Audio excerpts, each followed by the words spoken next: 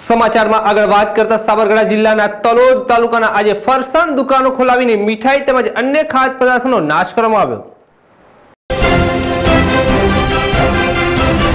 સાબરકાંઠા જિલ્લાના તલોદ તાલુકાના આજે ફરસાણ દુકાનો ખોલાવીને મીઠાઈ તેમજ અન્ય ખાદ્ય પદાર્થો નાશ કરવામાં આવ્યો.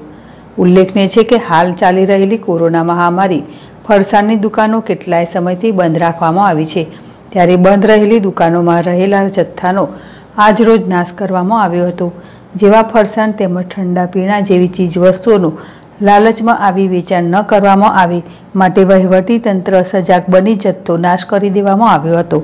તલોદ મામલતદાર અગરસી તાલુકા વિકાસ અધિકારી, ફ્રૂટ પ્રોવિઝન વિભાગ અધિકારીઓ તેમજ તલોદ પોલીસ સ્ટાફ સાથે રહીને તાજપુર, રોજડ રણાસનની દુકાન માલિકો બોલાવીને દુકાનો ખોલી બગડી ગયેલી મીઠાઈ તેમજ અન્ય ચીજો નાશ કરવામાં આવી હતી. તલોદ પ્રથમ કેસ નોંધાતા તલોદ વહીવટી તંત્ર દ્વારા ફરસાણ દુકાનો સામે લાલ આંક કરી કવાયત હાથ ધરવામાં આવી હતી. અર્જુનસિંહ પરમાર, જેડેશ ટીવી, તલોદ.